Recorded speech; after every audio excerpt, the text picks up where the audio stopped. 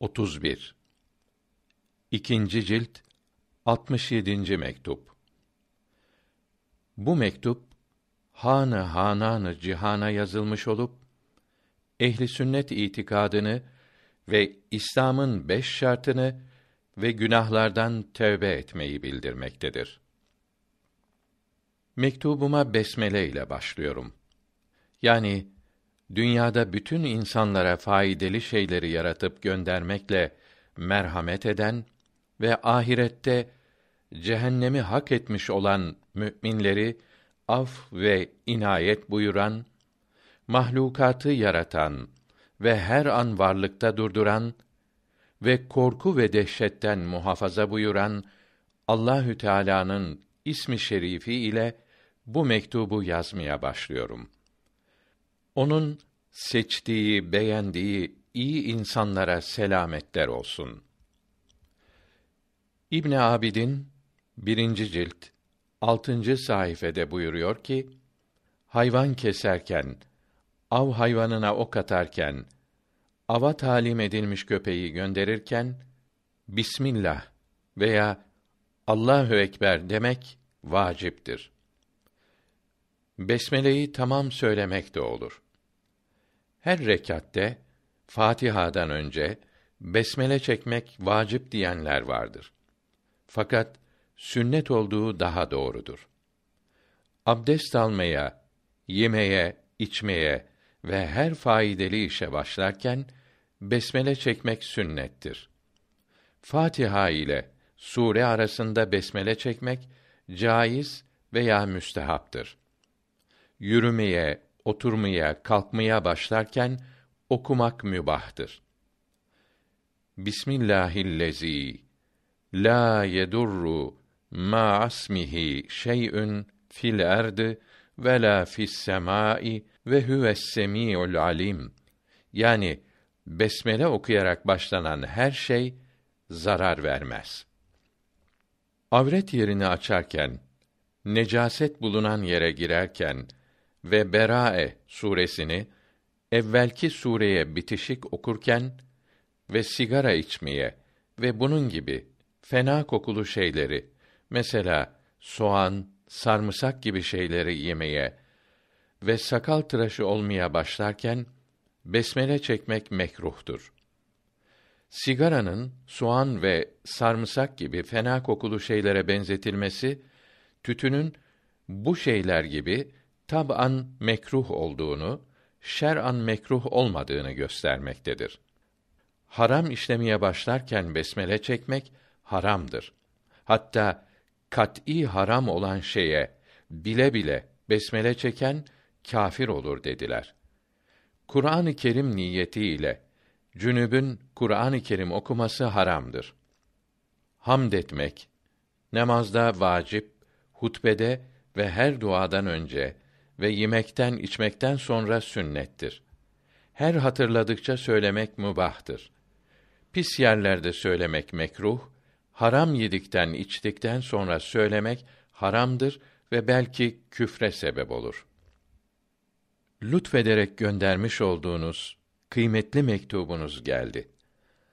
Allahü Teala'ya hamd ve şükürler olsun ki şüphelerin arttığı şu zamanda hiçbir şeye ihtiyacı olmayan sizin gibi bahtiyarlar temiz mayalarının icabı olarak hiçbir münasebet olmadığı halde bir köşede kalmış, unutulmuş olan bu fakirleri düşünmekle iltifat buyuruyor ve bu taifeye iman ediyorsunuz.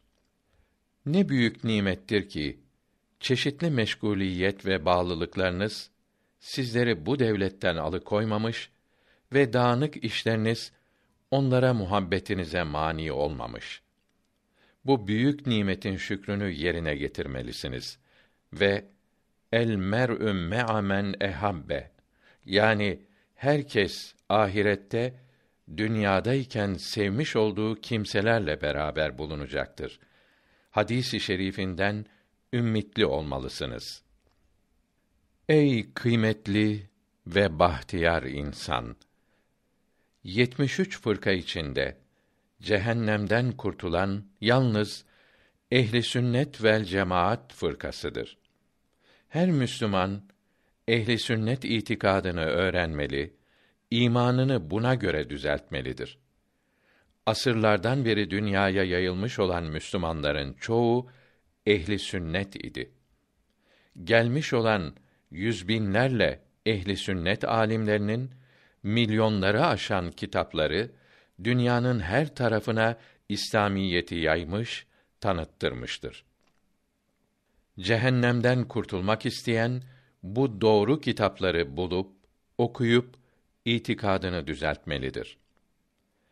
Ehli sünnet alimlerinin kitaplarında yazılı olan itikada uymayan fena, bozuk itikatlar, imanlar yani bunlara gönül bağlamak gönlü öldüren bir zehirdir. İnsanı sonsuz ölüme, ebedi azaba götürür. Amelde, ibadetlerde tembellik, gevşeklik olursa affolunabilir. Ama itikatta gevşek davranmak affolunmaz. Şirki yani küfrü asla affetmeyeceğim. Diğer bütün günahları istediğim kimselerden affederim. Mealindeki ayet-i kerime meşhurdur.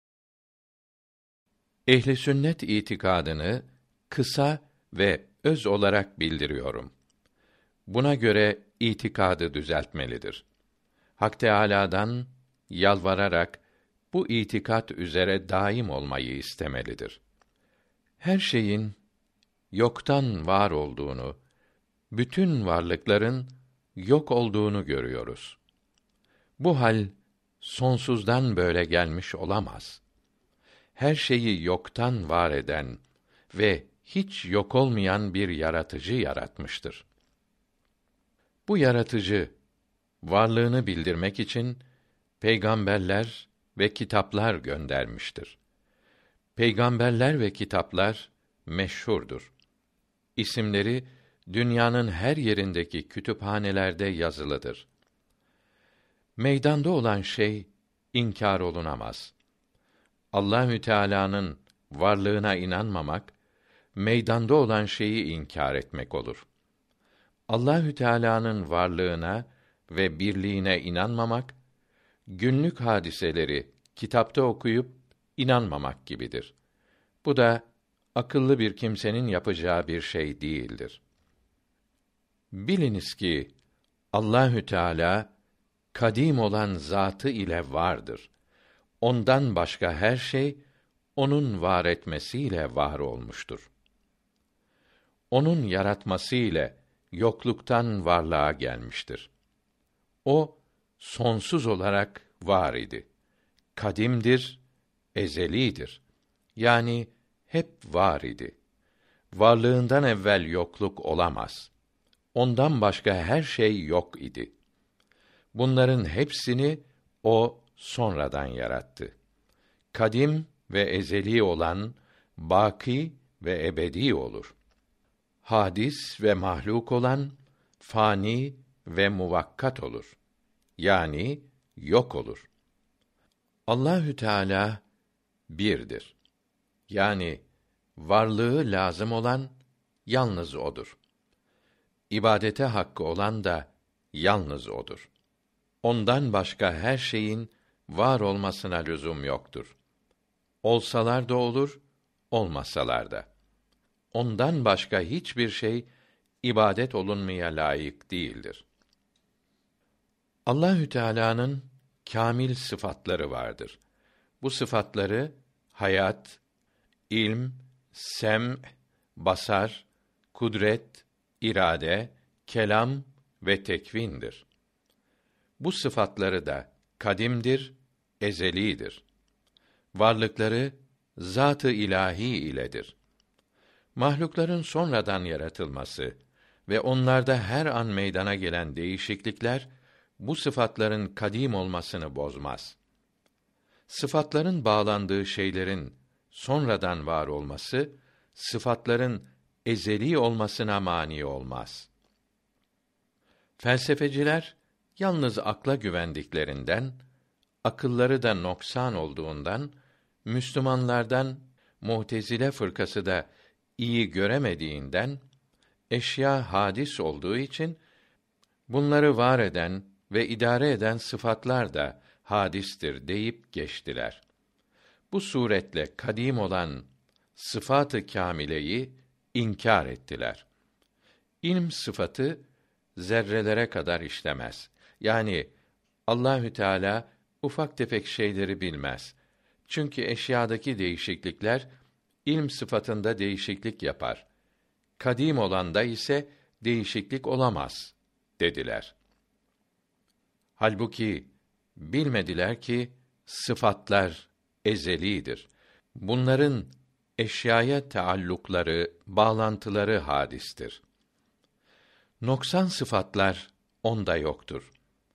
Allahü Teala maddelerin, cisimlerin, arazların yani hallerin sıfatlarından ve bunlara lazım olan şeylerden münezzehtir, uzaktır.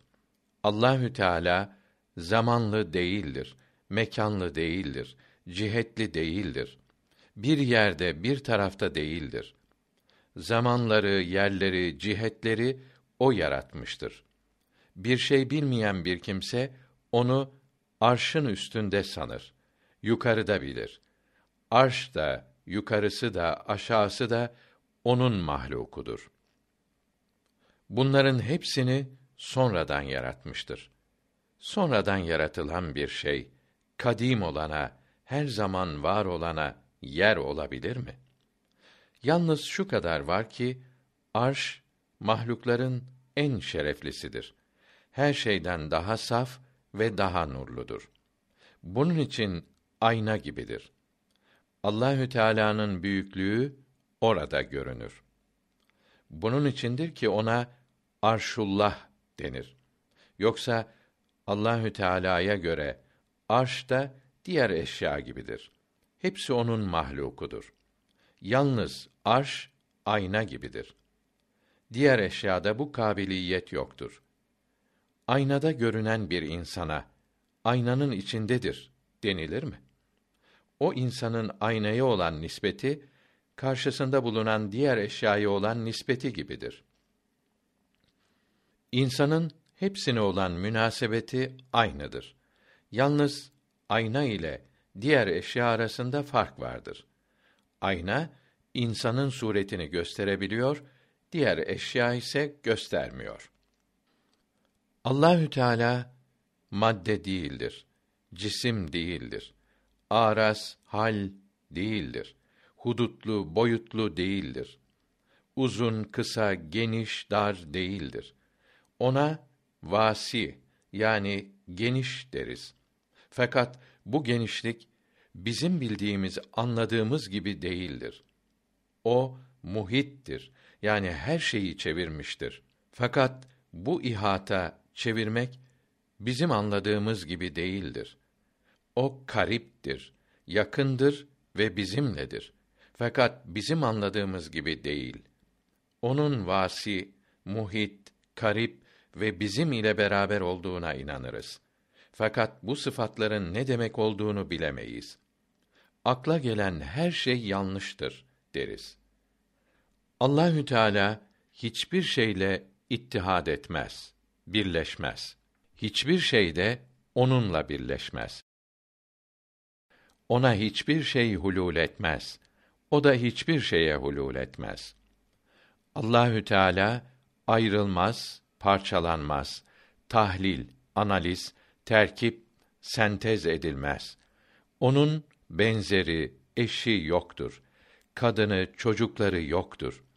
O bildiğimiz, düşünebileceğimiz şeyler gibi değildir. Nasıl olduğu anlaşılamaz, düşünülemez. Benzeri, nümunesi olamaz. Şu kadar biliriz ki Allahü Teala vardır. Bildirdiği sıfatları da vardır. Fakat kendisinde varlığında ve sıfatlarında akla gelen, hayalimize gelen her şeyden münezzehtir, uzaktır. İnsanlar onu anlayamaz. Farisi Beyt tercümesi Rabbiniz değil miyim? Sorulduğunda onu anlayanlar o vardır deyip kestiler sözü. İmam-ı Rabbani 266. mektupta diyor ki: Allahü Teala vardır, birdir. Haydır, diridir. Her şeyi görür. Hareketleri, düşünceleri, dünya ve ahiretteki şeyleri ezelde bir anda bilir. O ve sıfatları ve işleri akl ile anlaşılamaz ve anlatılamaz. İnsan bir şey yapmak irade edince o da isterse hemen yaratır. İnsanın istemesine kesp denir. Onun istemesine halk denir. Onun söylemesi de hep bir kelimedir. İslam alimlerinin Allahü Teala'nın gönderdiği nimetleri düşününüz. Allahü Teala'nın nasıl olduğunu düşünmeyiniz. Sözleri meşhurdur. Allahü Teala'nın isimleri tevkifidir. Yani dinin sahibinin bildirmesine mevkuftur, bağlıdır. İslamiyetin söylediği ismi söylemelidir. İslamiyetin bildirmediği isim söylenemez. Ne kadar kamil, güzel isim olsa da söylenmemelidir. Cevat denir. Çünkü İslamiyet cevat demektedir. Fakat yine cömert manasında olan sahih ismi söylenemez. Çünkü İslamiyet ona sahih dememiştir. Şu halde Tanrı da denemez. Hele ibadet ederken, ezan okurken Allah ismi yerine Tanrı demek çok günah olur. Kur'an-ı Kerim Allah kelamıdır. Onun sözüdür. Sözünü İslam harflerinin ve seslerinin içine sokarak Peygamberimiz Muhammed aleyhisselama göndermiştir. Bununla kullarına emirlerini, nehi yani yasaklarını bildirmiştir. Biz mahluklar boğazımızdaki ses iplikçikleri dil ve damağımız ile konuşuyor, arzularımızı harf ve ses şeklinde meydana çıkarıyoruz. Allahü Teala da ses zarları, ağız dil olmaksızın kendi kelamını büyük kudretiyle harf ve ses içinde kullarına göndermiştir. Emirlerini, nehilerini harf ve ses içinde meydana çıkarmıştır. Her iki kelam da onundur. Yani harf ve ses içine sokulmadan evvelki kelamı nefsisi ve harf ve ses içinde bulunan kelamı lafzisi hep onun kelamıdır. Her ikisine de kelam demek doğrudur. Nitekim bizim de nefsi ve lafsi kelamımızın ikisi de sözümüzdür. Nefsiye hakiki deyip lafsiye mecaz demek yani kelam gibi demek yanlıştır. Çünkü mecaz olan şeyler reddedilebilir. Allahü Teala'nın kelamı lafzisini reddedip buna Allah kelamı değildir demek küfürdür. Evvelce gelen peygamberlere ala nebiyina ve aleyhimüs salavatü ve teslimat gönderilen kitaplar ve sahifeler de hep Allah kelamıdır. O kitaplarda ve sahifelerde ve Kur'an-ı Kerim'de bulunanların hepsi ahkâm-ı ilahidir. Her vakte uygun olan hükümleri o zamanın insanlarına göndermiş ve onları bunlardan mesul tutmuştur. Allahü Teala'yı müminler cennette cihetsiz olarak ve karşısında bulunmayarak ve nasıl olduğu anlaşılmayarak ve ihatasız yani bir şekilde olmayarak görecektir. Allahü Teala'yı ahirette görmeye inanırız. Nasıl görüleceğini düşünmeyiz. Çünkü onu görmeyi akıl anlayamaz. İnanmaktan başka çare yoktur. Felsefecilere ve Mutezile ismindeki Müslümanlara ve ehli sünnetten başka bütün fırkalara yazıklar olsun ki kör olduklarından buna inanmaktan mahrum kaldılar. Görmedikleri, bilmedikleri şeyi gördükleri şeylere benzetmeye kalkarak iman şerefine kavuşamadılar. Allahü Teala insanları yarattığı gibi insanların işlerini de o yaratıyor. İyi ve fena şeylerin hepsi onun takdiri, dilemesi iledir. Fakat iyi işlerden razıdır, beğenir. Fenalardan razı değildir, beğenmez. İyi ve kötü her iş onun istemesi ve yaratması ile ise de onu yalnız bir kötü şeyin yaratıcısı olarak adlandırmak edepsizlik olur. Kötülüklerin yaratıcısı dememelidir. İyi ve kötünün yaratıcısıdır demelidir. Mesela her şeyin halikıdır demeli. Fakat pisliklerin veya domuzların haliki dememelidir. Ona karşı edep böyle olur. Mutezile fırkası ve bazı sapık kimseler ne kadar bayağı düşünüyor. İyi, kötü her işini insan kendi yaratır diyor. Akıl da din de bunun yanlış olduğunu gösteriyor. Doğru söyleyen alimler yani ehli sünnetin büyükleri rahmetullahi teala aleyhim ecmaîn insanın yaptığı işte kendi kuvveti de tesir ediyor dedi ve bu tesire kesp ismini verdiler.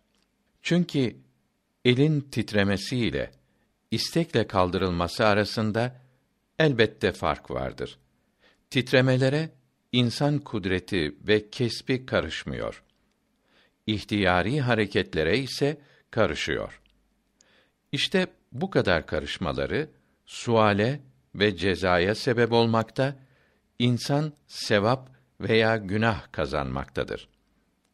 İnsanların kudret ve ihtiyarına inanmayan, insanlara aciz ve mecbur zanneden kimse din alimlerinin sözlerini anlamamıştır.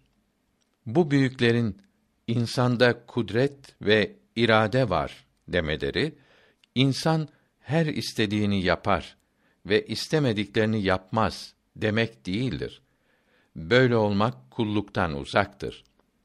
Büyüklerin sözü insanlar emrolunan şeyleri yapabilir demektir. Mesela beş vakit namaz kılabilir. Malın kırkta birini zekat verebilir. On iki ayda bir ay oruç tutabilir. Yol ve yiyecek parası olan ömründe bir kere hac yapabilir.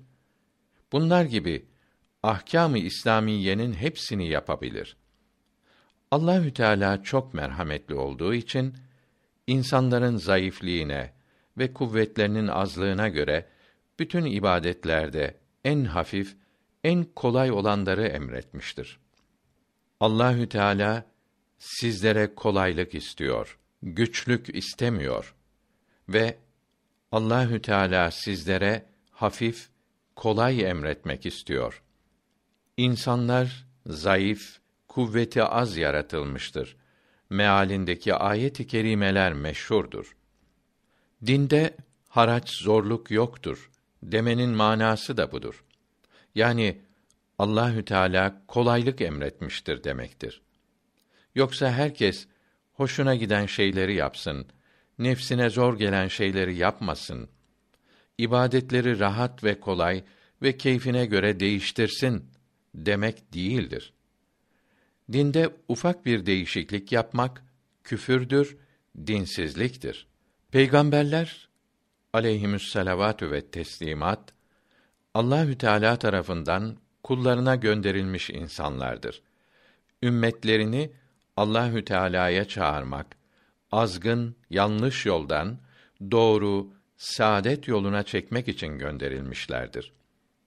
Davetlerini kabul edenlere cenneti müjdelemişler, inanmayanları ve inanıp da yapmayanları cehennem azabıyla korkutmuşlardır.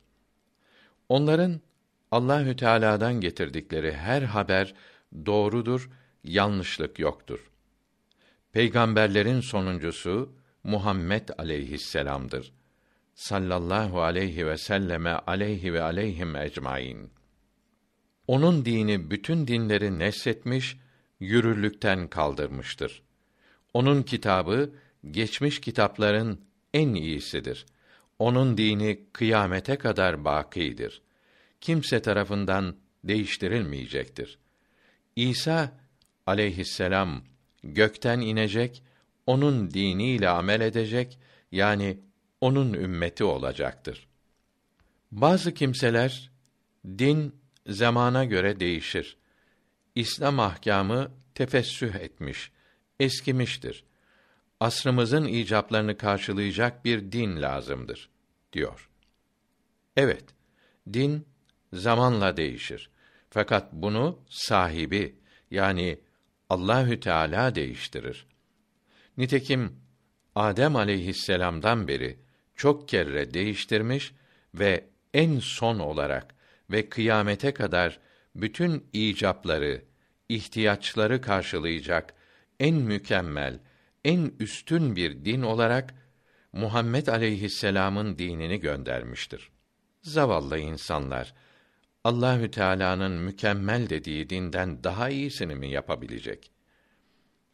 Evet, milletlerin kanunları da zamanla değişir. Fakat bunu ancak millet meclisleri değiştirebilir. Her bekçi ve çoban değil. Mecellenin 39. maddesinde ve şerhinde diyor ki: Ahkam zamanla değişir. Örf ve adete tabi olan ahkam değişir. Nas ile anlaşılan ahkam zamanla değişmez. Muhammed aleyhisselam'ın kıyametten haber verdiği şeylerin hepsi doğrudur.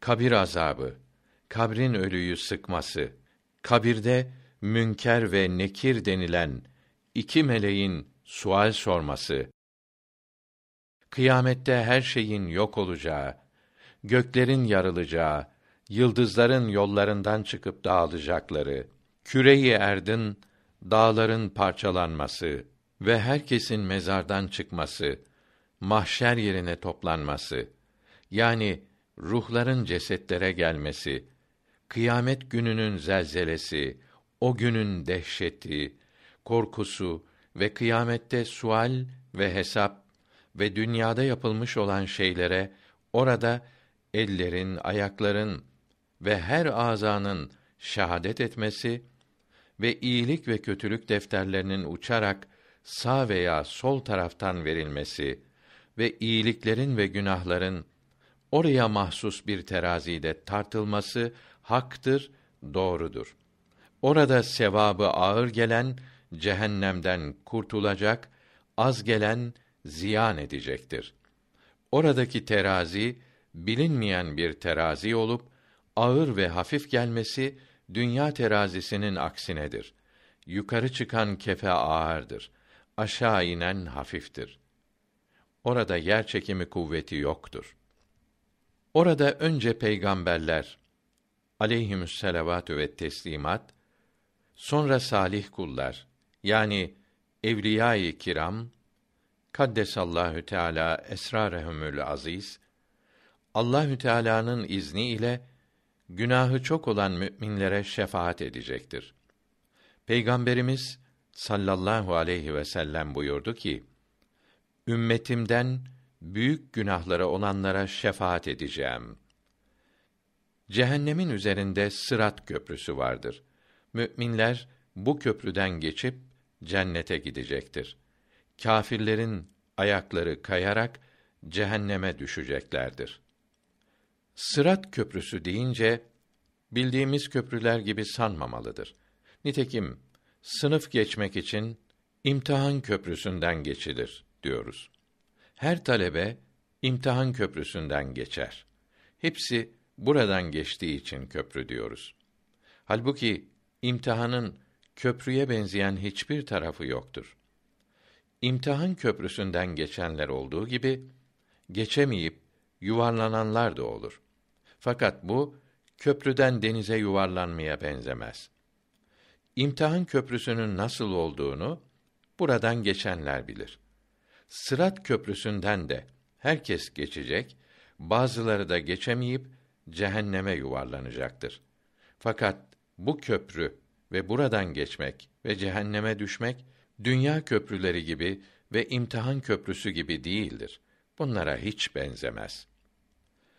Müminlere mükafat ve nimet için hazırlanmış olan cennet ve kâfirlere azab için hazırlanmış olan cehennem şimdi vardır. Her ikisini de Allahü Teala yoktan var etmiştir. Kıyamette her şey yok edilip tekrar yaratıldıktan sonra ebedi olarak varlıkta kalacaklar, hiç yok olmayacaklardır. Sual ve hesaptan sonra müminler cennete girince burada sonsuz kalacaklar, cennetten hiç çıkmayacaklardır. Bunun gibi kâfirler de cehenneme girince cehennemde sonsuz kalacaklar, ebedi olarak azap çekeceklerdir. Bunların azaplarının azaltılması caiz değildir. İbn Teymiye kâfirlerin cehennemde sonsuz kalacaklarını inkar etmektedir. Onların azapları hafifletilmeyecek, onlara hiç yardım olunmayacaktır.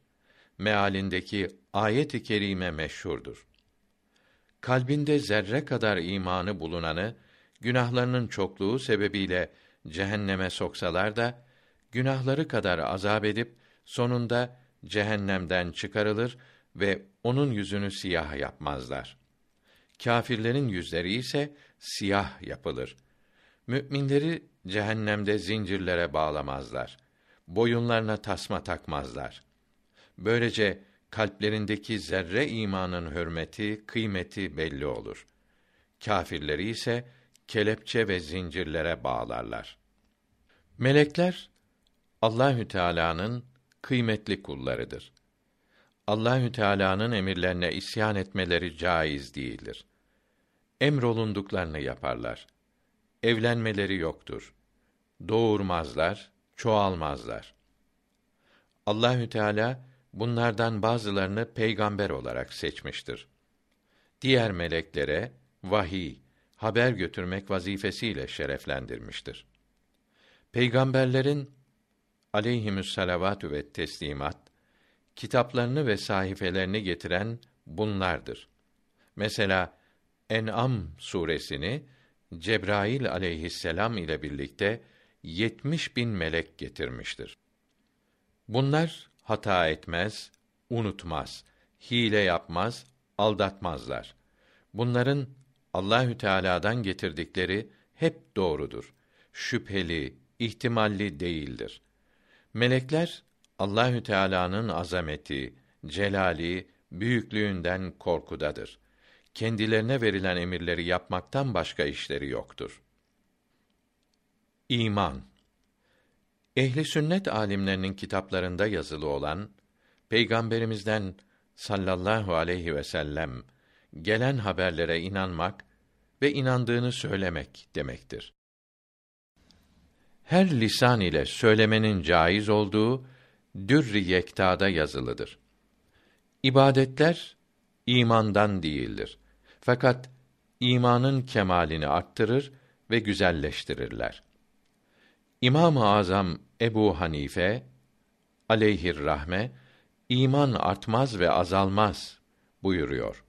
Çünkü iman kalbin tasdik etmesi, kabul etmesi, inanması demektir.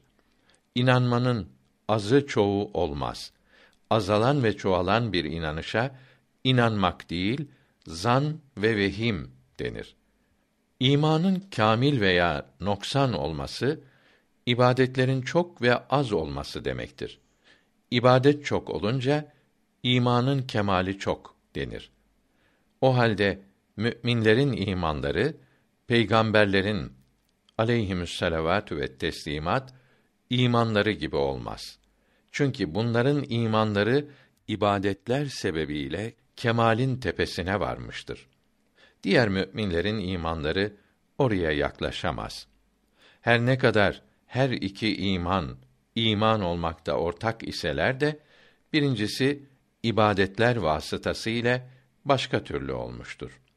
Sanki aralarında benzerlik yoktur.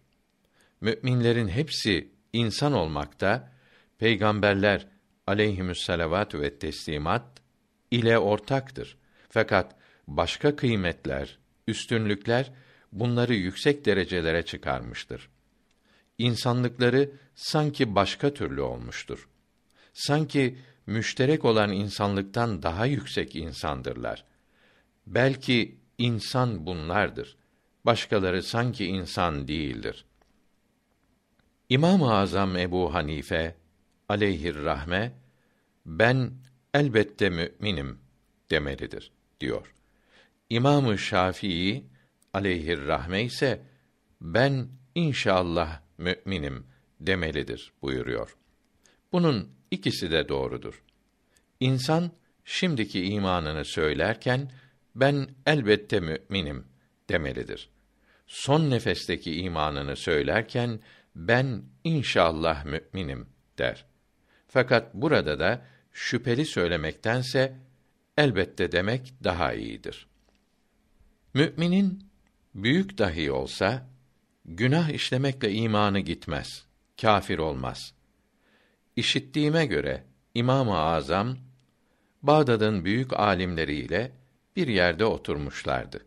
Biri gelip dedi ki: Bir mümin babasını haksız olarak öldürse ve sonra şarap içerek sarhoş olsa ve zina etse imanı gider mi? İşiten alimlerin hepsi o mümine kızdı. Bunu sormaya lüzum yok. İmanı elbet gider. Kafir olur dediler. İmam-ı Azam aleyhir rahme buyurdu ki: O kimse yine mümindir. Günah işlemekle imanı gitmez. Alimler bu cevabı beğenmeyip İmam-ı Azam'a dil uzattılar. Sonra imam sözünü ispat edince hepsi kabul etti. Günahı çok olan bir mümin son nefesi boğazına gelmeden evvel tövbe ederse kurtulması çok umulur. Çünkü Allahü Teala tövbeyi kabul edeceğini vaat buyurmuştur. Eğer tövbe etmek şerefine kavuşamadı ise onun işi Allahü Teala'nın iradesine kalmıştır. İsterse günahlarının hepsini affederek cennete sokar, isterse cehennem ateşiyle veya sıkıntılar ile günahları kadar azap yapar. Fakat sonunda kurtularak yine cennete girer. Çünkü ahirette merhamete kavuşamayan yalnız kâfirlerdir. Zerre kadar imanı olan rahmete kavuşacaktır. Eğer günahlarından dolayı önceleri rahmete kavuşamazsa sonunda Allahü Teala'nın lütfu, inayetiyle kavuşacaktır. Ya Rabbi, sen bizlere hidayet verdikten sonra, doğru yolu gösterdikten sonra, kalbimizin mürtetler tarafına kaymasından bizleri koru. Bizlere merhamet et. Şu halimize acı. Bizleri bu küfür ve irtidat karanlığından ancak sen koruyabilirsin. Ehli sünnet alimlerine Allahü Teala onların çalışmasına bol bol mükafat versin. Göre halifelikten konuşmak dinin esas bilgilerinden değildir. Yani imana bağlı bir şey değildir.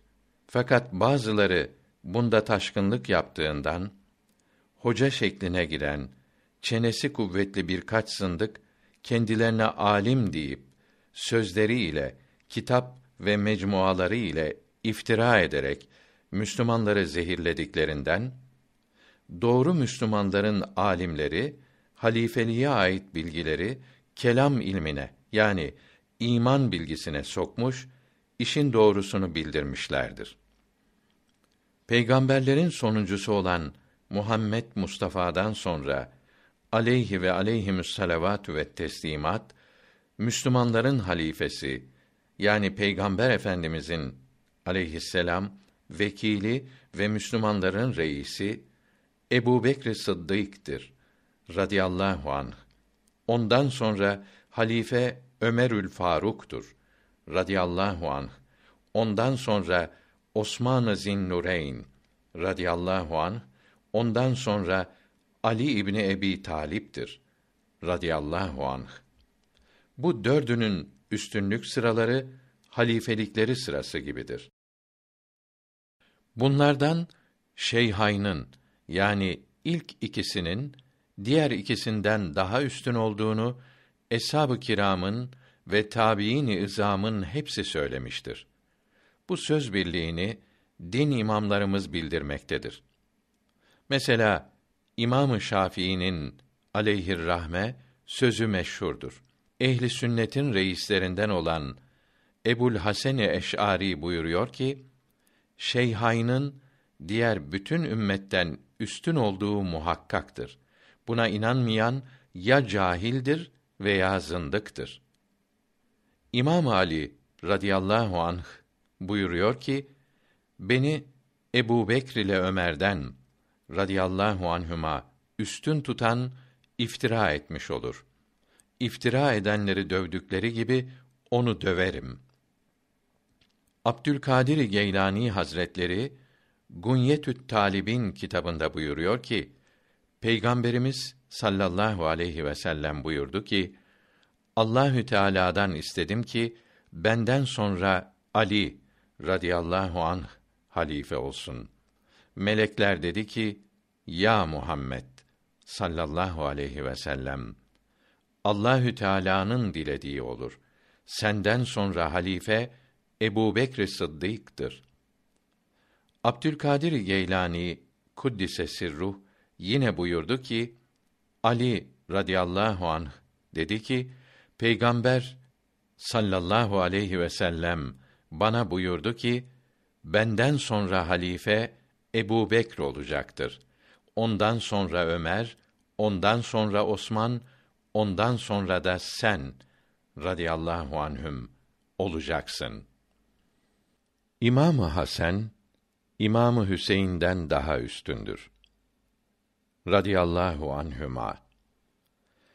Ehli sünnet alimleri rahmetullahi aleyhim ecmaîn buyurdu ki ilimde ve içtihatta Ayşe radıyallahu anha Fatıma'dan radıyallahu anha üstündür.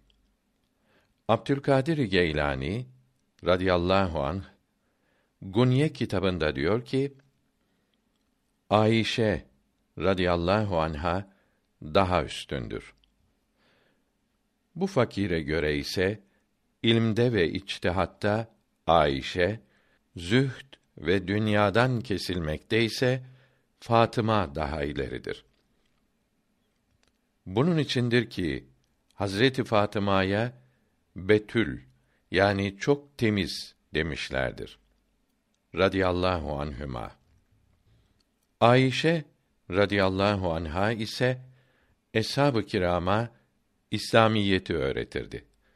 Eshab-ı kiram bütün müşkillerini ondan sorup öğrenirdi. Eshab-ı kiram aleyhimür rıdvan arasındaki muharebeler mesela deve vakası ve Sıffin vakası iyi niyetlerle, güzel sebeplerle yapılmış olup nefsin arzuları ile, inat ve düşmanlık ile değildi. Çünkü onların hepsi büyük idi.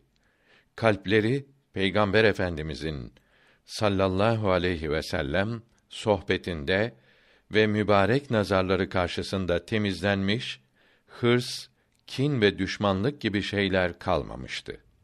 Bunların sulhları da ayrılık ve muharebeleri de hak için idi.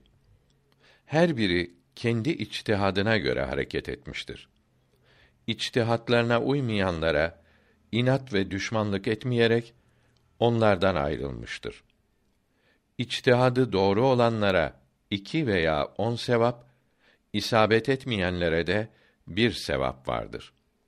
O halde doğruyu bulmaya çalışıp da bulamayıp yanılanlarına da doğru olanlar gibi dil uzatmamak lazımdır. Çünkü bunlar da sevap kazanmıştır. Ehli sünnet alimleri buyuruyor ki bu muharebelerde emir yani Ali radıyallahu anh haklıydı. Ona uymayan içtihatlar doğru değildi. Fakat hiçbirine dil uzatılamaz.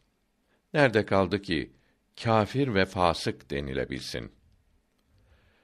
Bu muharebelerde Ali radıyallahu anh buyurdu ki: Kardeşlerimiz bizden ayrıldı.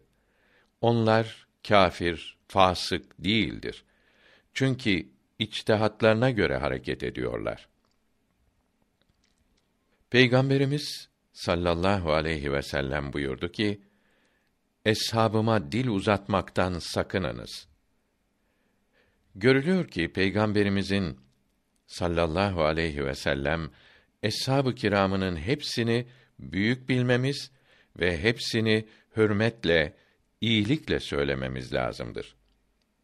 Bu büyüklerden hiçbirini fena bilmemeli, kötü sanmamalıyız. Onların birbirleriyle olan muharebelerini başkalarının sulhlarından daha iyi bilmelidir. Kurtuluş yolu budur. Çünkü eshab-ı kiramı sevmek Peygamber Efendimizi sallallahu aleyhi ve sellem sevmekten ileri gelir. Onlara düşmanlık ona düşmanlık olur. Büyük alim Ebu Bekr Şibli kuddisesi ruh buyurdu ki Eshab-ı kirama hürmet etmeyen bir kimse Muhammed aleyhisselama iman etmiş olmaz. Radiyallahu teala anhum ecmaîn. Alusi Galiye kitabında diyor ki: Allahü Teala Kur'an-ı Kerim'de eshab-ı kiramı övmektedir. İlk hicret edenlerden ve ensardan ve iyilikte bunların izinde olanlardan razı olduğunu bildirmektedir. Allahü Teala ancak mümin olarak öleceğini bildiği kulundan razı olur. Kafir olarak öleceğini bildiği kulundan razı olduğunu bildirmesine imkan yoktur. Bunun için eshab-ı kiramı öven ayet-i kerimeler onların adil olmadıklarını ve Resulullah'ın vefatından sonra mürtet olduklarını söyleyenleri reddetmekte, böyle söyleyenlerin kötü niyetli, zındık olduklarını bildirmektedir. Eshab-ı kiramın hepsini öven hadisi şerifler pek çoktur. Bunların meşhurlarından biri Darimi'nin ve İbne Adi'nin bildirdikleri Eshabım yıldızlar gibidir. Hangisine uyarsanız hidayete kavuşursunuz. Hadisi şerifidir. Ahmet Namıki Camii'nin rahmetullahi aleyh Ünsüt Taibin kitabı Farisidir. Rıza Şah zamanında Tahran'da basılmış olanın 44. sayfasında dört halife isimleriyle yazılarak her biri ve eshab-ı kiramın hepsi çok övülmekte ve hepsini sevmemiz lazımdır demektedir. Eshab-ı kiramın aleyhimür rıdvan kıymetini, büyüklüğünü bilemeyen bu büyükleri kendileri gibi sanıp kötüleyen sapıklara çok şaşılır. Cehenneme gidecekleri bildirilen 72 bid'at fırkasının en kötüsü bunlardır. Bunlar Hazret Ali'nin radıyallahu an izinde gidiyoruz diyerek Müslümanların çok sevdiği mübarek Alevi ismini kendilerine takıyorlar. İslam düşmanlığını bu mübarek ismin maskesi altında yapıyorlar. Şunu iyi bilmelidir ki Alevi ismini taşıyan kimseler iki kısımdır. Biri Müslüman ismini taşıyan sinsi İslam düşmanları yani zındıklardır. Bunların ismine aldanmamalıdır. İkinci kısım Aleviler Hazreti Ali'yi seven hakiki Müslümanlardır. Yalancı Aleviler temiz gençleri aldatıyorlar. Miladi 1958'de İstanbul'da Türkçe bastırdıkları Hüsniye isimli bir kitaptaki uydurma hikayeleri cahiller ve en çok köylü kadınlar arasına yayarak İslam büyüklerini kötülüyorlar. Bu kitabın Mürteza adındaki bir Yahudi tarafından Arabi olarak yazıldığı Tuhfe kitabında bildirilmektedir. Sonra İbrahim Esterabadi isminde bir hurufinin Farisiye tercüme ettiği ve 958 miladi 1551'de öldüğü Esmaül Müellifinde yazılıdır.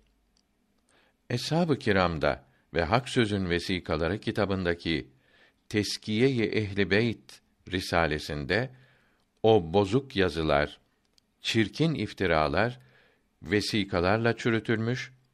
Mürteda 436 miladi 1044'te kardeşi Radi bin Tahir de 406'da Bağdat'ta ölmüştür.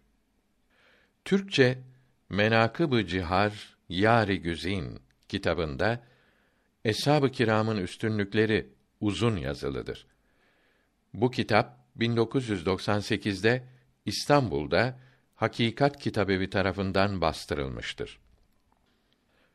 Hurufi denilen zındıkların itikatta ve amelde birçok noktaları ehli sünnetten ayrılıyor ise de bunların taşkınlık yapanları kâfir olmaktadır. Bunlar yok olmak üzereyken içlerinden Şah İsmail'in devlet kurması ile çoğaldılar. Memleketimize de sokularak hemen hemen bütün tekkelere bulaşmış ve birçok masumlar bu sari hastalığa yakalanarak ebedi ölüme sürüklenmiştir. Cenab-ı Hak bizleri ehli sünnetin doğru, temiz itikadından ayırmasın. Müslümanlar arasında bölücülük yapan Vehhabilik ve kızılbaşlık tehlikesinden muhafaza buyursun. Amin. Tuhfe-i İsna Aşeriye başında diyor ki: Bu sapık inanışı kuran Abdullah bin Sebe adında Yemenli bir Yahudidir. Sen tanrısın dediği için Hazret Ali bunu Medain'e sürdü. Bunun Yahudi olduğu 34 miladi 654 senesinde Mısır'dan Medine'ye gelip Müslüman olduğunu söylediği Müncit'te yazılıdır. Bu dalalet fırkası her asırda başka bir hal almış, Şah İsmail zamanında belli bir şekle sokularak kitaplar yazılmıştır. Şiilik Hazret Ali zamanında kuruldu. İnsanlar arasında yayılması daha sonra başladı.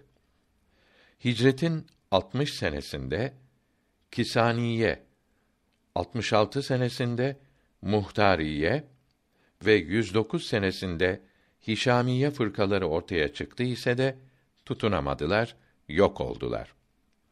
Asırlar boyunca Müslümanları doğru yoldan ayıran Zeydiye fırkası 112 senesinde ve öteki fırkaların hepsi daha sonra meydana çıktı. Müslümanlar arasında bölücülük yapan bid'at fırkalarının birkaçı eshab-ı kiram zamanında ortaya çıkmış, diğerlerinin ortaya çıkması ve hepsinin kuvvetlenerek Müslümanlar arasına yayılması eshab-ı kiramın hepsinin ölümünden sonra olmuştur. Eshab-ı kirama iftira edenler üç grupta toplanmaktadır. 1. Tafdiliye Hazret Ali eshabın en üstünüdür diyorlar. 2. Sebbiye Eshab-ı kiramdan birkaçından başkası zalim kâfir oldular diyorlar. Bunları seb ediyorlar. Yani kötülüyorlar. 3. Gulat Hazret Ali kerramallahu teala veçe tanrıdır diyorlar. Sebeiye ve Nusayriye fırkaları böyledir. İbadet etmezler. Bu fırkayı Abdullah bin Sebe ismindeki bir Yahudi kurmuştur. Bunlar her zaman Hazret Ali'nin ve Hazret Abbas'ın radıyallahu anhuma torunlarından birinin etrafına toplanıp çeşitli fırkalara ayrıldılar. İmamı Zeynel Abidin vefat edince çoğu bunun oğlu Zeyd'in yanında toplandı. Emevi hükümdarı Hişam bin Abdülmelik tarafından Irak valisi olan Yusuf-ü Sekafi ile harp etmeye giderlerken bir kısmı Zeyd'den ayrıldı. Zeyd bunlara Rafizi dedi. Kendileri ise İmamiye adını aldılar. Zeyd'in yanında kalanlara Zeydi denildi. Her ikisi de Resulullah'tan sonra hilafet 12 imamdadır dediler. 12 imam Ali bin Ebi Talip, Hasan, Hüseyin, Zeynel Abidin, Muhammed Bakır, Cafer-i Sadık, Musa Kazım, Ali Rıza, Muhammed Cevat Takî, Ali Nakî, Hasan Askeri Zeki ve Muhammed Mehdi'dir. Bu on iki imamın çeşitli oğullarına bağlanarak başka başka fırka oldular. Bugün çoğu imamiye olup üç ana inançtan birincisinde iseler de inançlarında zamanla çeşitli değişiklikler olmuştur. Bunlar şimdi kendilerine Caferi diyorlar. Caferiler hakkında kitabın sonundaki isim cetvelinde Caferi Sadık kelimesinde uzun bilgi vardır.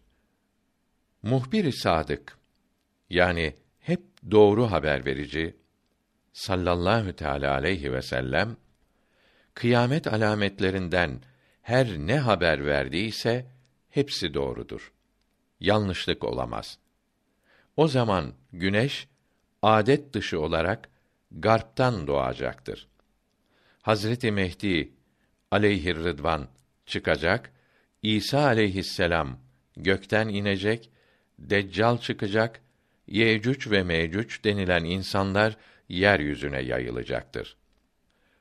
Huccetullahi alel aleminde diyor ki, Yecüc ve Mecüc denilen kimseler Nuh aleyhisselam'ın oğlu Yafes'in soyundandırlar. Yüzleri yassı, gözleri küçük, kulakları çok büyük, boyları kısadır. Her birinin bin çocuğu olur.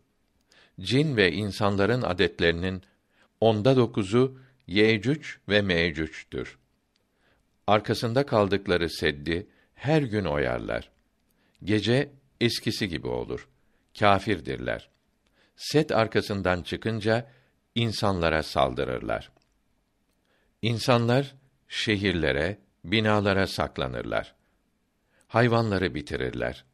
Nehirleri içip kuruturlar. İsa aleyhisselam ve eshabı bunlara karşı dua ederler. Boyunlarında yara hasıl olup bir gecede hepsi ölür. Hayvanlar bunları yiyerek çoğalırlar. Pis kokularından yeryüzü yaşanamayacak bir hal alır. Yecüc ve Mecüc çok eski zamanda bir duvar arkasına bırakılmış, kıyamete yakın yeryüzüne yayılacak iki kötü millet olduğu Kur'an-ı Kerim'de haber verilmiştir. Arkeolojik araştırmalar yer altında kalmış şehirleri, dağ tepelerindeki deniz fosillerini bulduğuna göre o duvarın bugün meydanda bulunması ve bu insanların çok sayıda olmaları lazım gelmez. Nitekim bugünkü milyarlarca insan nasıl iki kişiden meydana geldiyse, o iki milletin de bugün nerede oldukları bilinemeyen birkaç kişiden üreyerek yeryüzünü kaplayacakları düşünülebilir. Dabbetül ert denilen hayvan çıkacak, gökleri bir duman kaplayıp bütün insanlara gelip canlarını yakacak. Herkes bunun acısından dua edip Ya Rabbi, bu azabı üzerimizden kaldır. Sana iman ediyoruz diyecektir. Alametlerin sonuncusu bir ateştir ki Aden'den çıkacaktır. Aden Yemen'dedir. Hindistan'da birisi Mehdi olduğunu iddia etmişti. Mezarı da Fere şehrindeymiş. Meşhur hatta manası tevatür derecesine varmış birçok hadisi şerifler böylelerinin bu itikat ve sözlerini yalanlamaktadır.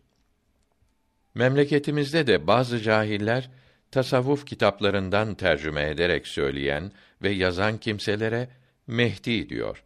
Bunları kendisi yazıyor sanıyorlar. Halbuki birçok hadisi i şeriflerde buyuruldu ki Mehdi'nin başı hizasında bir bulut olacaktır. Buluttan bir melek bu Mehdi'dir. Sözünü dinleyiniz diyecektir. Bir hadisi i şerifte buyuruldu ki, ismini duyduğunuz kimselerden yeryüzüne yani o zaman bilinen memleketlerin çoğuna dört kişi malik oldu. İkisi mümin, ikisi de kâfir idi. Mümin olan iki kişi Zülkarneyn ile Süleyman aleyhisselam idi. Kafir olan ikisi de Nemrut ile Buhtun Nasar idi. Beşinci olarak yeryüzüne benim evladımdan biri yani Mehdi de malik olacaktır. Bir hadisi şerifte buyuruldu ki kıyamet kopmadan önce Allahü Teala benim evladımdan birini yaratır ki ismi benim ismim gibi babasının ismi benim babamın ismi gibi olur ve dünyayı adaletle doldurur. Ondan önce dünya zulmle dolu iken onun zamanında adl ile dolar. Bir hadisi şerifte buyuruldu ki Eshab-ı Kehf Hazreti Mehdi'nin yardımcıları olacaktır ve İsa aleyhisselam bunun zamanında gökten inecektir. İsa aleyhisselam Deccal ile harbederken Hazreti Mehdi onunla beraber olacaktır. Bunun hükümdarlığı zamanında her zamankinin aksine olarak ve hesapların tersine olarak Ramazan-ı Şerif'in 14. günü güneş tutulacaktır ve birinci gecesinde ay tutulacaktır. O halde insaf etsinler ki bu alametler cahillerin Mehdi zannettikleri kimselerde ve o ölen adamda var mıdır, yok mudur? Hazreti Mehdi'nin daha birçok alametlerini muhbir-i sadık aleyhisselatu vesselam haber vermiştir. Ahmet İbni Hacer Mekki Hazretleri El Kavlül Muhtasar fi Alamatil Mehdi ismindeki kitabında Hazreti Mehdi'nin 200'e yakın alametlerini yazmıştır. Geleceği bildirilen Mehdi'nin alametleri meydandayken başkalarını Mehdi sananlar ne kadar cahildir. Allahü Teala onlara doğruyu görmek nasip eylesin. Celaleddin Suyuti'nin Cüz'ün minel ehadis vel asaril varideti fi hakkil mehdi kitabında da Hazreti Mehdi'nin alametleri bildirilmektedir. Peygamberimiz sallallahu aleyhi ve sellem buyurdu ki: Beni İsrail 71 fırkaya ayrılmıştı. Bunlardan yetmişi cehenneme gidip ancak bir fırkası kurtulmuştur. Nasara da 72 fırkaya ayrılmıştı. 71'i cehenneme gitmiştir. Bir zaman sonra benim ümmetim de 73 kısma ayrılır.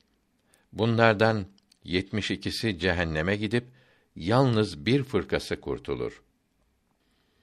Eshab-ı kiram bu bir fırkanın kimler olduğunu sordukta cehennemden kurtulan fırka benim ve eshabımın gittiği yolda gidenlerdir buyurdu. Bu hadisi şerifin dört Sünen kitabında bulunduğu Milal Nihal tercümesinde yazılıdır. O kurtulan fırka ehli sünnet vel cemaattir ki insanların en iyisinin sallallahu aleyhi ve sellem yoluna sarılmışlardır. Ya Rabbi, bizleri ehli sünnet alimlerinin rahmetullahi aleyhim ecmaîn bildirdiği imandan, itikattan ayırma. Onlarla birlik olduğumuz halde bu dünyadan çıkar. Bizi onlarla haşreyle ya Rabbi. Bize hidayet verdikten sonra kalplerimizi doğrudan kaydırma ve bize yüce katından rahmet ver. Sen ihsan edenlerin en büyüğüsün. İslam'ın birinci şartı Allahü Teala'ya ve peygamberine sallallahu aleyhi ve sellem imandır. Yani onları sevmek ve sözlerini beğenip kabul etmektir. İtikadı düzelttikten sonra İslamiyetin emirlerini yapmak ve yasak ettiği şeylerden kaçınmak yani ahkamı İslamiyeyi yapmak elbette lazımdır. Beş vakit namazı gevşek ve tembel olmaksızın kılmalıdır. Tadil erkan ile kılmalıdır ve cemaat ile kılmalıdır. Müslüman ile kâfiri birbirinden ayıran namazdır. Namazı doğru ve iyi kılan bir kimse Müslümandır. Namazı doğru kılmayan veya hiç kılmayan kimsenin Müslümanlığı şüphelidir. Bir kimse namazı doğru ve iyi kılınca İslam ipine yapışmış olur. Çünkü namaz İslam'ın beş şartından ikincisidir. İslam'ın üçüncü şartı zekat vermektir. İslam'ın dördüncü şartı Ramazan-ı Şerif ayında her gün oruç tutmaktır. Beşinci şart Kâbe-i Muazzama'yı hac etmektir. İslam'ın birinci şartı iman olup kalb ile inanmak ve dil ile de söylemektir.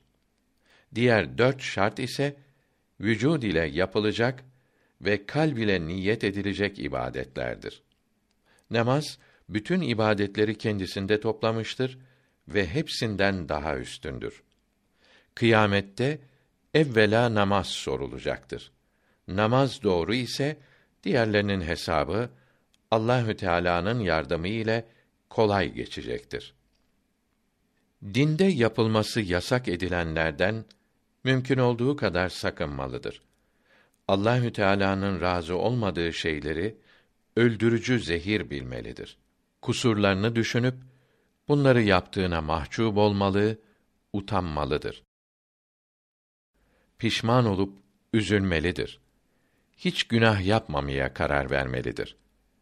Bu üzülmeye ve karara tövbe etmek denir.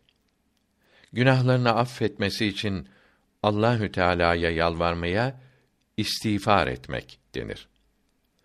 Allahü Teala'nın beğenmediği şeyleri utanmadan, sıkılmadan söyleyen ve yapan Allahü Teala'ya karşı durmuş, inat etmiş olur.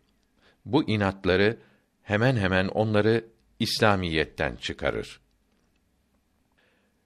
Riyadun Nasihin kitabının dördüncü kısmı, ikinci babının üçüncü faslında buyuruyor ki, haramları büyük günah ve küçük günah diye ikiye ayırmışlar ise de, küçük günahlardan da büyük günah gibi kaçınmak, hiçbir günahı küçümsememek gerektir. Çünkü Allahü Teala intikam alıcıdır ve ganidir. İstediğini yapmakta hiç kimseden çekinmez. Gazabını, düşmanlığını günahlar içinde gizlemiştir.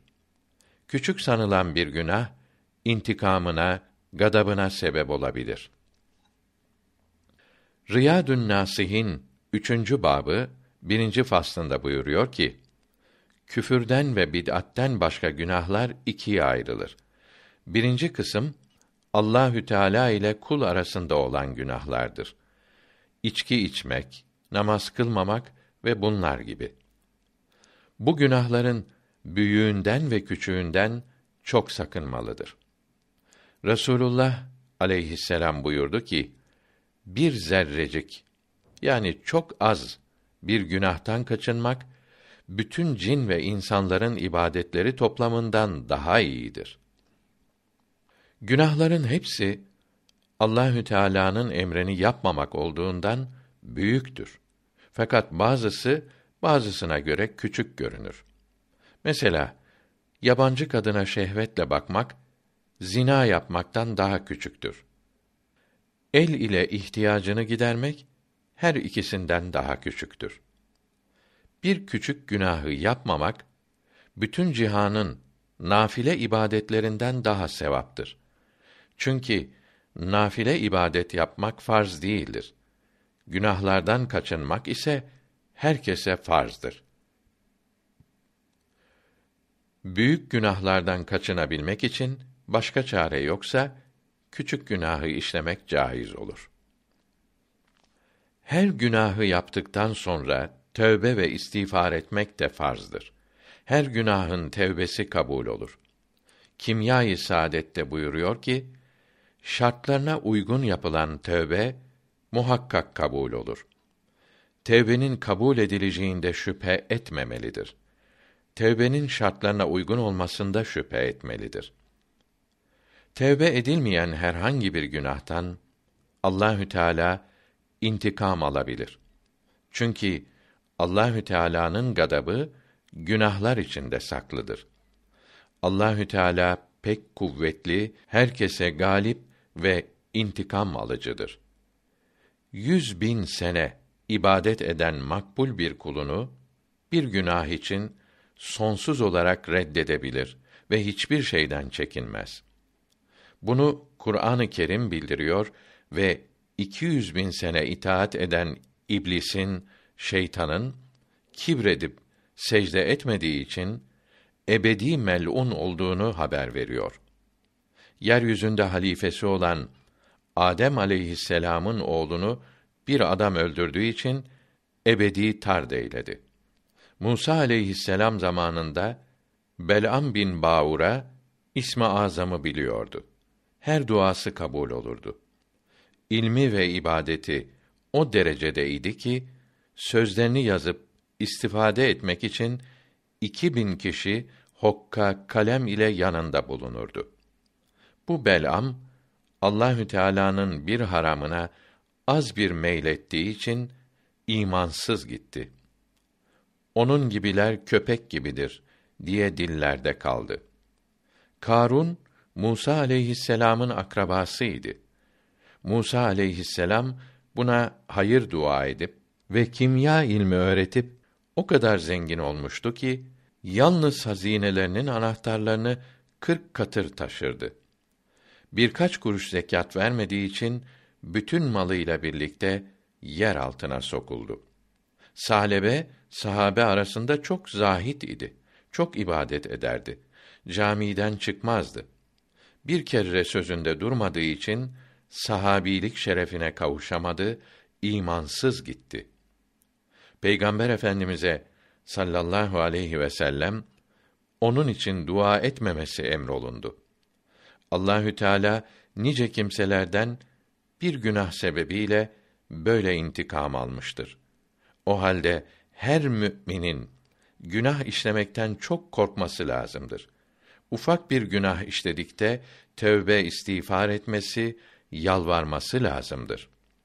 Riyadun Nasihin ikinci kısım ikinci babı birinci fasılda diyor ki: Tövbe ve istiğfar kalb ile, dil ile ve günah işleyen ağza ile birlikte olmalıdır.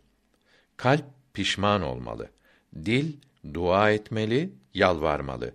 Ağza da günahtan çekilmelidir.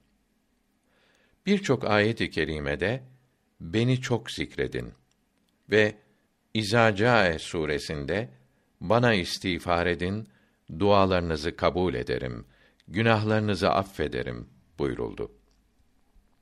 Görülüyor ki Allahü Teala çok istiğfar edilmesini emrediyor.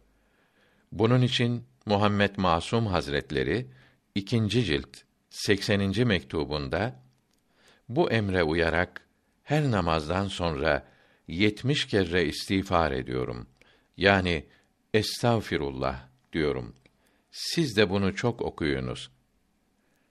Her birini söylerken manasını beni affet Allah'ım olarak düşünmelidir. Okuyanı ve yanındakileri dertlerden, sıkıntılardan, hastalıklardan kurtarır. Çok kimse okudu, faydası hep görüldü buyurdu. Yatarken sağ tarafa yatıp bir euzü ve besmele, bir ayetel kürsi, üç ihlas, bir Fatiha, bir kul euzüler, bir tevekkeltü alallah, la havle ve la kuvvete illa billah oku. Büyüklerimiz cinleri def için bu kelimeyi temcidi okurdu. Sonra bir istiğfar duası yani Estağfirullahel azim. ellezî la ilahe illa huvel hayyel kayyume ve etûbü ileyh. Bir Allahümme mağfirli ve li valideyye ve lil müminine vel müminat ve bir salavat-ı şerife ve bir Allahümme Rabbena atina fid dünya haseneten ve fil ahirete haseneten ve kına azaben nar bir rahmetike ya erhamer rahimin. Ve üç veya on veya kırk yahut yetmiş kere istiğfar ve bir kelime-i tevhid okuyup uyumalıdır. Bütün gece okuyup uykusuz kalmamalıdır. Hastaya şifa için yetmiş istiğfar okumalı, tamam olunca başı üzerine üfürmeli ve kısa bir dua etmelidir. Duaların ve istiğfarın kabul olması için namazları kılmak ve haramlardan sakınmak ve abdestli okumak lazımdır. İstiğfarı ve duaları abdestli okumak müstehaptır. Ey büyüklerin büyüğü Allah'ım! Muhammed aleyhisselam'ın haber verdiği gibi sana inanıyorum. Beni kabul et. Beni affet. Muhammed aleyhisselam seni bize haber vermeseydi bu noksan aklımızla kendimiz bulmak, seni tanımak şerefine kavuşamazdık. Hayvanlardan aşağı olur, cehennemin ateşinde yanmak cezamız olurdu. Ey büyük peygamber! Senin bizim üzerimizdeki hakkın sonsuzdur. Bizi Allah'ımızı tanımakla şereflendirdin. Müslüman olmak saadetine kavuşturdun. Sonsuz yanmak azabından kurtardın. Bunun için benden sana sonsuz selamlar, sonsuz dualar olsun. Allah'ım bu büyük peygamberi bize tanıtan analarımıza, babalarımıza ve hocalarımıza ve ehli sünnet kitaplarını yazanlara ve yayanlara rahmet eyle ya Rabbi. Amin. İkinci kısım günahlar kullar arasındadır ki bunlara tövbe etmek için o kulu hoşnut etmek, razı etmek de lazımdır. Kimya-i Saadet kitabında buyuruyor ki, hadis-i şerifte buyuruldu ki, gizli yapılan günahın tevbesini gizli yapınız. Aşikare yapılan günahın tevbesini aşikare yapınız. Günahınızı bilenlere tövbenizi duyurunuz. O halde İslam dinine inanmayanlar, Müslümanlara sıkıntı verenler öldükten sonra bunlar için belki tövbe etmiştir, irtidattan vazgeçmiştir demek boştur bunların zulm yapan azalarının iyilik yapması, dili ile dua etmesi ve mazlumları hoşnut edecek vasiyette bulunmaları lazımdır. Böyle tövbe etmeyen mürtetlerin ölülerine hüsn zan edilmez. Oradaki insanların bilmediği, belki sizin dahi anlamadığınız, Cenab-ı Hakk'ın size mahsus kıldığı bir devlete, bir nimete sahipsiniz. Şöyle ki, vaktin sultanı yedinci ceddinden itibaren Müslüman olup ehli sünnettendir ve Hanefi mezhebindendir. Her ne kadar kıyametin yakın olduğu Resulullah'ın zamanından uzak bulunan zamanımızda birkaç seneden beri bazı ilm talebeleri içlerindeki pislikten doğan ihtiras ve çirkin isteklerini tatmin için devlet adamlarına ve sultanlara yaklaşmış ve onların gözlerine girmeye çalışmış ve böylece sağlam dinde şek ve şüpheler ortaya çıkarmışlar. Ahmakları doğru yoldan ayırmışlar ise de böyle şanı büyük bir padişahın sizin sözünüzü dinleyip kabul buyurması büyük bir saadettir. Ehli sünnet ve cemaat itikadına uygun olan hak ve İslam kelimesini açık veya işaret ile ona anlatınız. Onun huzurunda imkan nispetinde hak ehlinin doğru yolun alimlerinin sözlerini arz ediniz. Hatta daima bir yolunu bulup mezhep ve dinle ilgili bilgileri anlatmak için fırsat kollayınız. Böylece İslam'ın hakikati ortaya çıkar. Sapıklık, batıllık ve küfrün ve kâfirliğin çirkinliği ve kötülüğü anlaşılmış olur. Küfrün batıl olduğu zaten aşikardır. Aklı olan bir kimse onu beğenmez. Küfrün batıl olduğunu çekinmeden söylemeli, onların tapındıkları batıl ilahları, tanrıları en ağır dille nef ve reddetmelidir. Çünkü hak üzere ilah ancak ve ancak tereddütsüz ve şüphesiz göklerin yaratıcısıdır. Kâfirlerin tapındıkları, yaratıcı diye övdükleri şeyler bir sivrisineği yaratmış mıdır? Hepsi bir araya gelse bir şey yaratamaz. İbadet ettikleri şeylerden birini bir sivrisinek ısırsa kendini bundan koruyamaz. Nasıl olur da başkalarını zarardan koruyabilir? Kâfirler bu yaptıklarının kötü olduğunu işitince kabahatlerini anlayarak putlarımız, heykellerimiz Allahü Teala'nın yanında bize şefaat edecek. Bizi ona yaklaştıracaklar. Onun için bunlara ibadet ediyoruz diyorlar. Bunlar ne kadar abdaldır. Bu cansız şeylerin kendilerine şefaat edeceklerini nereden bilmişler? Hak Teâlâ'nın kendisine ortak yapılan ve büyük düşmanı olan bu putların şefaatlerini kabul edeceğini nereden anlamışlardır? Bunların hali şu ahmaklara benzer ki hükümete karşı isyan edenlere yardım eder. Sıkıştığımız zaman hükümetin yardımına kavuşmamız için bu asiler bize şefaat ve iltimas edecektir derler. Ne kadar ahmaklıktır ki asilere hürmet ediyor ve bunların şefaatiyle hükümet bizi affedecektir diyorlar. Halbuki bunların hükümete yardım etmesi ve asileri bastırması lazım idi. Ancak böylece hükümete yaklaşır ve doğru yolda yürümüş olur ve emniyete ve rahata kavuşmuş olurlardı. Ahmaklar birkaç taşı elleriyle yontarak senelerle ona tapıyor. Kıyamet günü ondan yardım bekliyorlar. O halde kâfirlerin dinlerinin bozukluğu meydandadır. Putperestliğin ne zaman başladığı Mesmuat'ın 41. sayfasında yazılıdır. Müslümanlardan doğru yoldan ayrılanlara bid'at sahibi denir. Doğru yol Muhammed sallallahu aleyhi ve sellemin ve onun dört halifesinin aleyhimür rıdvan yoludur.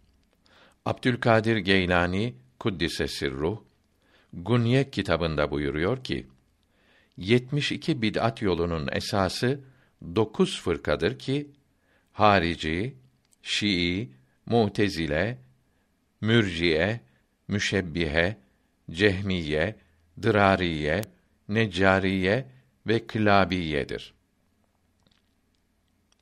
Peygamberimizin sallallahu aleyhi ve sellem ve cihar yari güzinin aleyhimür rıdvan zamanında bunların hiçbiri yoktu.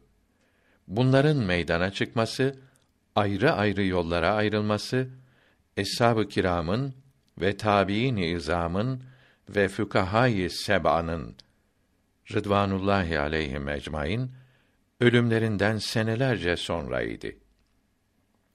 Fukahayı seba yedi büyük alim demektir.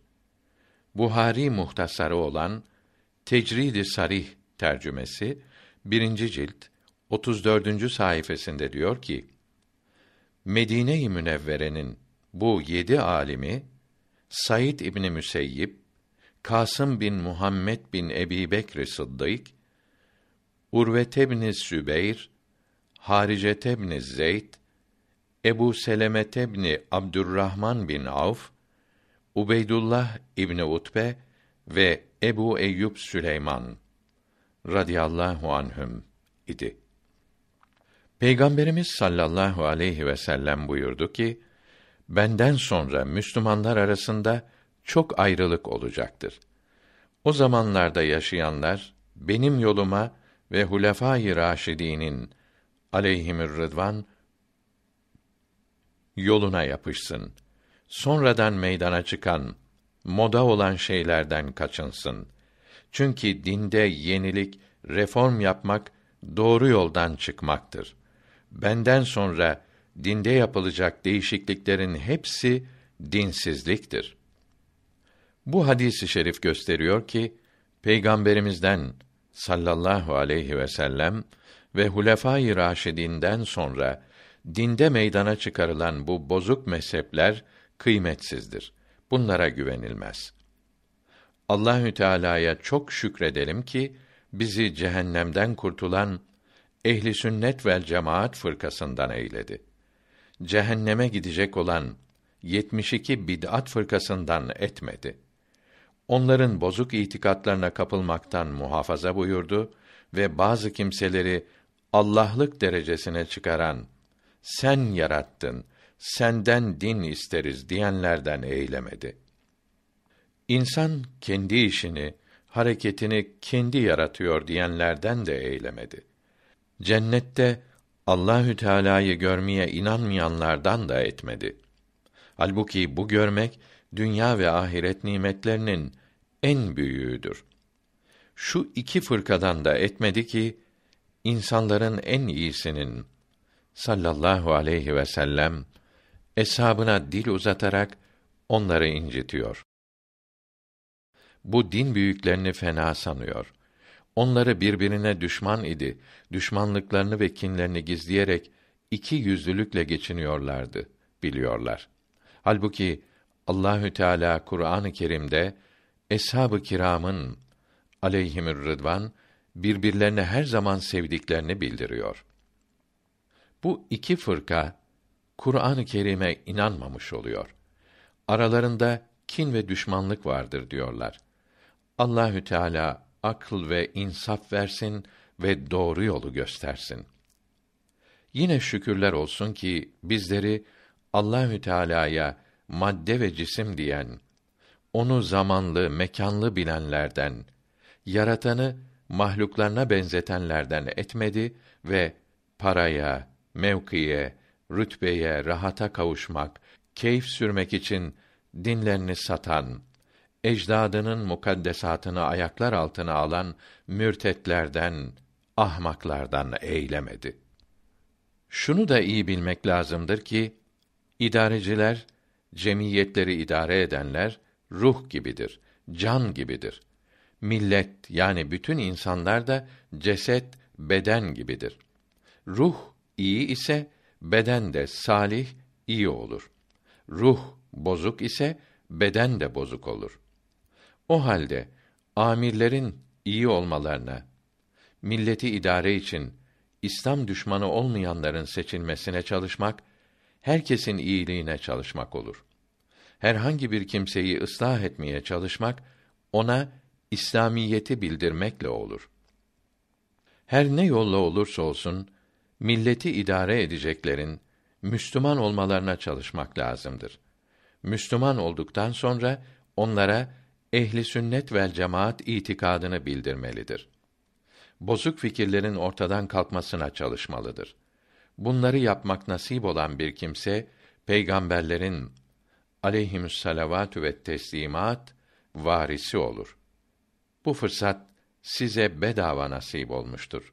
Bunun kıymetini biliniz. Bu yolda ne kadar çok yazsam yeridir. Fakat size bu kadar yetişir. İnsanları her şeye kavuşturan ancak Allahü Teala'dır. Mecellenin 39. maddesinde zamanın değişmesi ile adete dayanan hükümler değişebilir diyor. Fakat nas ile bildirilmiş olan ahkam hiçbir zaman değişmez. Her adet delil-i şer'i olamaz. Bir adetten hüküm çıkarılabilmesi için bu adetin naslara muhalif olmaması ve salih Müslümanlar arasında seleften gelmiş olması lazımdır. Haram işleyenler çoğalır, haramlar adet haline gelirse yine helal olmazlar. Küfür alametleri de adet olur. Müslümanlar arasına yayılırsa İslam adeti olmaz. Küfür alameti olmaktan çıkmazlar. Mübah olan adetlerde ve fen bilgilerinde zamana uyulur. Teknikte ilerleyenlere ayak uydurulur. Din bilgilerinde, ibadetlerde zamana uyulmaz. İman bilgileri, din bilgileri zamanla değişmez. Bunları değiştirmek, zamana uydurmak isteyenler ehli sünnetten ayrılır, kafir veya sapık olurlar. Çok mühim tembih. Erkek olsun, kadın olsun, her insanın her sözünde, her işinde Allahü Teala'nın emirlerine yani farzlara ve yasak ettiklerine, haramlara uyması lazımdır. Bir farzın yapılmasına, bir haramdan sakınmaya ehemmiyet vermeyenin imanı gider, kâfir olur. Kâfir olarak ölen kimse kabirde azap çeker. Ahirette cehenneme gider. Cehennemde sonsuz yanar. Affedilmesine, cehennemden çıkmasına imkan ve ihtimal yoktur. Kafir olmak çok kolaydır. Her sözde, her işte kafir olmak ihtimali çoktur. Küfürden kurtulmak da çok kolaydır. Küfrün sebebi bilinmese dahi her gün bir kere istiğfar etse yani estağfirullah dese muhakkak affolur. Yani ya Rabbi bilerek veya bilmeyerek küfre sebep olan bir söz söyledim veya iş yaptım ise nadim oldum, pişman oldum. Beni affet diyerek tövbe etse Allahü Teala'ya yalvarsa muhakkak affolur. Cehenneme gitmekten kurtulur. Cehennemde sonsuz yanmamak için her gün muhakkak tövbe ve istiğfar etmelidir. Bu tövbeden daha mühim bir vazife yoktur. Kul hakkı bulunan günahlara tövbe ederken bu hakları ödemek ve terk edilmiş namazlara tövbe ederken farzları kaza etmek lazımdır. Kitabımızda 276'dan 287 ortasına kadar okuyunuz. İnsan beşer, durmaz şaşar, eyler hata, üçer beşer. Düz ovada yürür iken, ayağını sürter, düşer.